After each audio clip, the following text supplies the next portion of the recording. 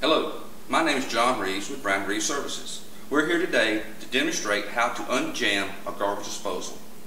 Only tool you'll need is an Allen wrench. And the size of the Allen wrench will depend on the make and model of the garbage disposal. First, we got to gain access to the garbage disposal. When you get cleared out, well, you can get in here.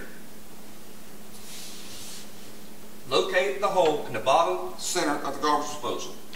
Insert the wrench and work it back and forth. When you have freed the jam, remove the wrench and look for your safety reset switch. Push it in and you'll hear a click.